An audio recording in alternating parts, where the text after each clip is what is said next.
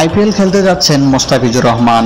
বাংলাদেশি এই পেসারের আইপিএল খেলার কথা নিশ্চিত করেছেন বিসিবির প্রধান নির্বাহী কর্মকর্তা নিজামুদ্দিন চৌধুরী সুজন।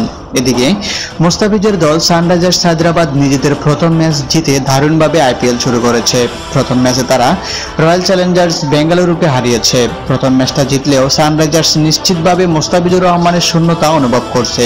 একথা সংবাদ সম্মেলনেও বলেছেন হায়দ্রাবাদের টিম ম্যানেজমেন্টের একাধিক সদস্য।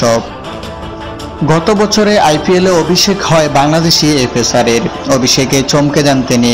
ফান সেরা উদীয়মান খেলোয়াড়ের পুরস্কার। আইপিএল থেকে ইঞ্জুরি ভাদিয়ে ফিরেছিলেন তিনি। পরে প্রায় পাঁচ মাস ক্রিকেটের বাইরে ছিলেন মাহাতি এই পেসার শ্রীলঙ্কার বিপক্ষে সিরিজ দিয়ে আন্তর্জাতিক ক্রিকেটের তিন ফর্মেটে ফিরেছেন তিনি।